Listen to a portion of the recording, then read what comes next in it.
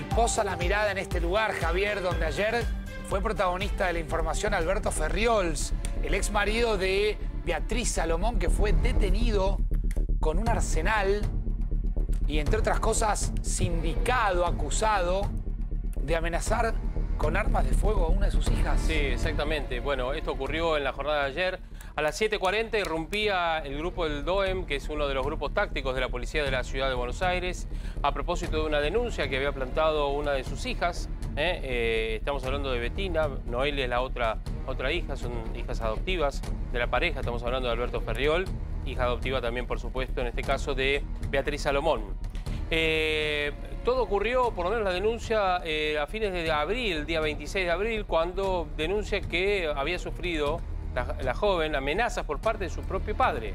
¿eh? Amenazas con un arma, este, intimidación a través de, bueno, cargar un tambor de un revólver con municiones, que tenía muchas armas, que había ingresado incluso en la vivienda este, de, esta joven, eh, a pesar de que no quería ella que estuviera allí, que no se retiraba de la vivienda. Bueno, todo un sinfín de, de denuncias en las cuales la justicia comenzó a actuar, se ordenó el allanamiento, ayer se hizo efectivo y se encontraron con todo un arsenal que ustedes veían recién, armas de, grueso calibre, eh, pistolas, revólveres, una carabina, una escopeta. También estábamos, ahí estamos viendo incluso arriba, estamos viendo una pica... Eh, eh, eso en realidad es una una culata, como se dice a veces en, la jerga, que es para eh, colocar allí una, pistola y tener un mayor poder de efectividad para apuntar y demás. para colocarlo, se adapta al arma, ¿no? Sí, exactamente. Es un aditivo que se le coloca ¿Y, qué hacía con tantas armas? Puño.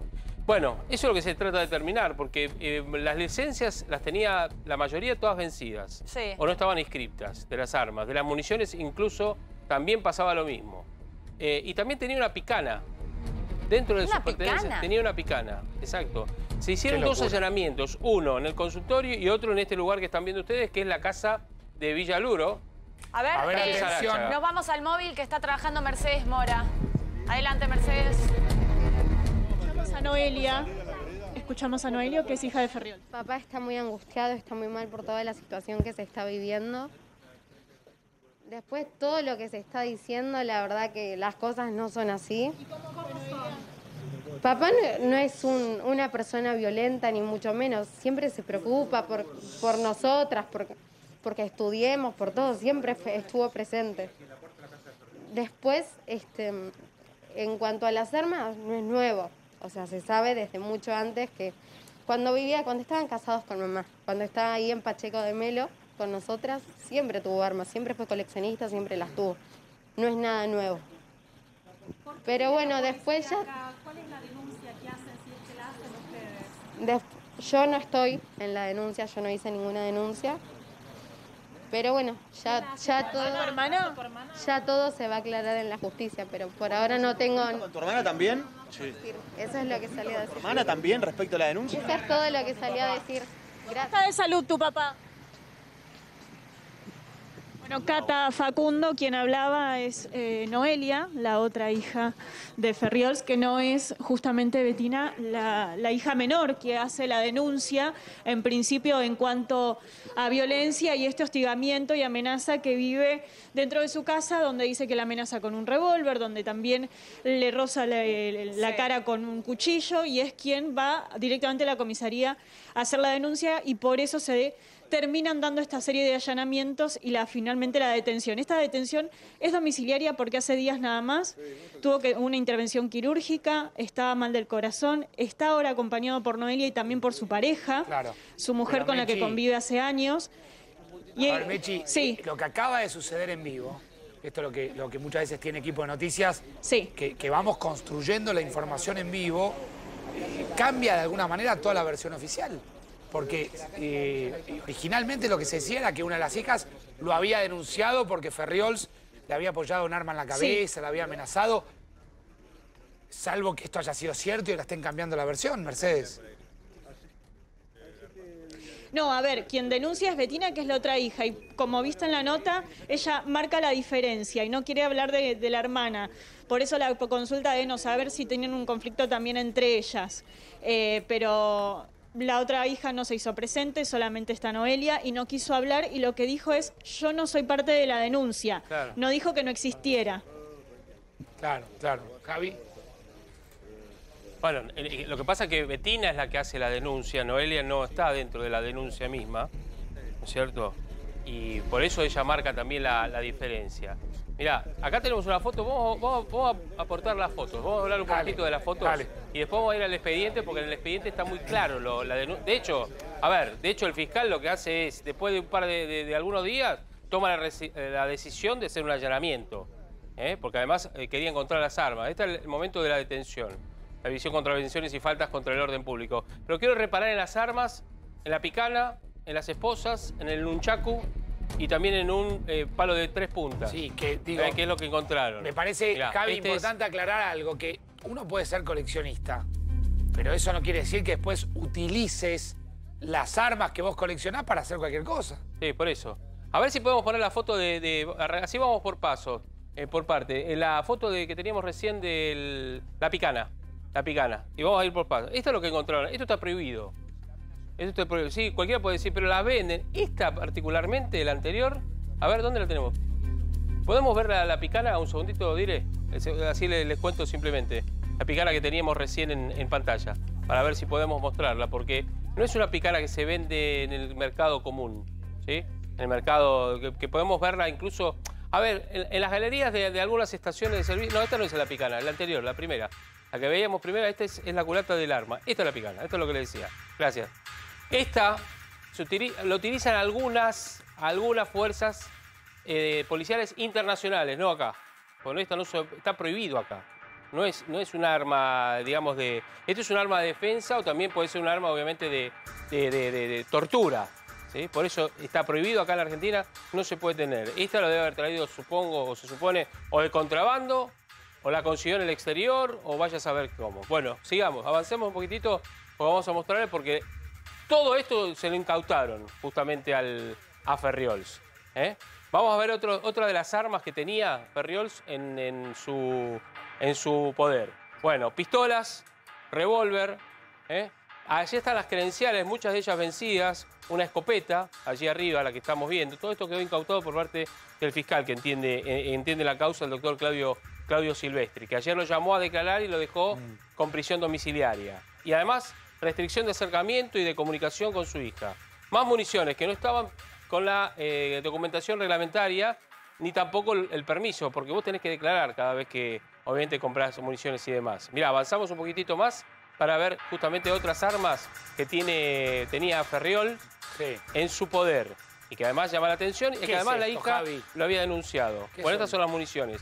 Municiones de además también, mirá. Punta hueca. De punta hueca. Prohibidas. Sí, exactamente. Punta hueca. ¿Qué se supone, Javi, que. Algunos dicen que son las parecidas, ¿no? A las mata policías. Claro, ¿qué, se supone que hace una munición de punta, de punta hueca? No, lo que produce es un efecto de más de destrucción y de golpe fuerte, como que para tumbar, además de este, herir o matar justamente a la otra persona. No se usa acá en la Argentina. La policía lo que usa es la, otra bala, para ser sencillo, la bala completa, que es trazante, es distinta, se utiliza muchas veces en las guerras. Mira, acá está el nunchaku y, el palo de tres puntas, la varilla o la vara de tres puntas.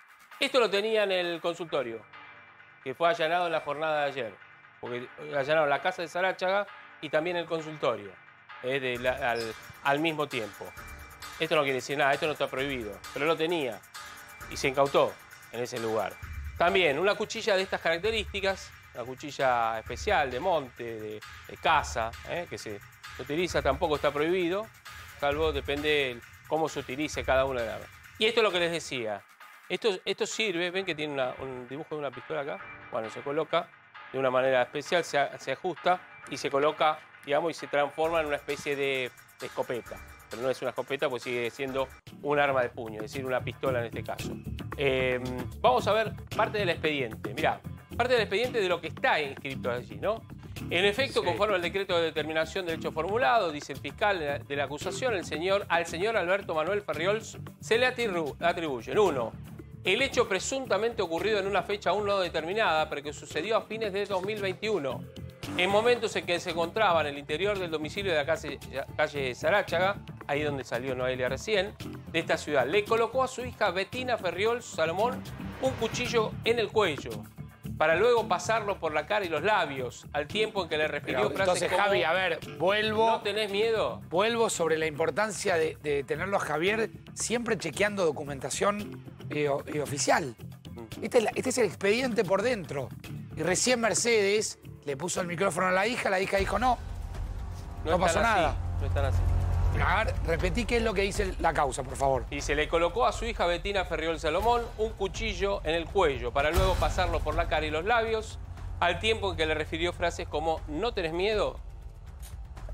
este es uno. Después, además avanza dentro del informe y dice precisamente al día siguiente del hecho aquí imputado, el hecho 1, eh, en este caso la víctima, la denunciante refiere, llevó una caja de balas a la mesa, se puso a llenar el revólver y me decía, no, no, te, no tenés miedo. Yo le decía que no, que por qué le voy a tener miedo. Y él me decía, porque tengo esto acá. Yo le dije que era ilógico que me hiciera algo, algo ahí adentro. Además, había cámaras en la casa. Esto es un extracto nada más de toda la causa judicial que tiene justamente... Mientras tanto, este la situación de Ferriols es que queda demorado, Javi. Claro, ayer lo detiene, queda detenido, lo llevan a declarar en indagatoria. En la jornada de ayer este, estuvimos aquí en la 24, estuvimos justamente cubriendo todo ese trayecto y demás. Eh, declara y queda con prisión domiciliaria. Está cumpliendo efectivamente allí. Pero con algunas condiciones de esta prisión domiciliaria, que es justamente la que no puede tener acercamiento ni contacto con su hija Betina. Que se le incautan también este, las armas que no puede comprar ni tener más armas, sí. y obviamente no puede salir de su domicilio. Y además debería tener, no sé si estará ahora, pues debería tener una custodia policial en la puerta. Todo eso sumado a un hecho muy grave. Déjame volver, Javi, con Mercedes Mora en el lugar. Mechi. Sí, Sí, tal cual, la consigna policial está, estuvo todo el tiempo aquí parado en la puerta del domicilio, él siempre acompañado, acompañado en el interior de su casa por su mujer. Eh, Noelia, su hija mayor, llegó hace no más de media hora aquí y hace minutos nada más salía para dar estas palabras eh, e inmediatamente regresó al interior. El hecho que denuncia eh, su hija menor sí se da en este lugar, pero no comparten vivienda hace años. Ellas dos viven en otro lugar, así que estarían de visita justamente ese día. Eh, por eso también ella lo que pide es que no tenga la posibilidad de acercarse a ella ni a su domicilio. Hay claramente, Facundo Javier, un problema intrafamiliar, violencia intrafamiliar y hay que ver también la situación donde queda parada Noelia, que es quien acaba de salir porque tampoco dio eh, mayor apoyo a su hermana, ¿no? Frente a esta denuncia. Claro, claro, exacto. Clarísimo. Además, tiene prohibición de salir de la casa, ahí me estaban eh, escribiendo, ¿eh? tiene prohibición de salir de, la casa ¿no? con una autorización este, judicial que pueda ir a hacer su tratamiento sí, sí, sí, lo o algún trámite Cuestiones de salud, eso no, no se lo pueden negar. No. Mercedes, quédate por allí, ya volvemos sobre el tema, gracias.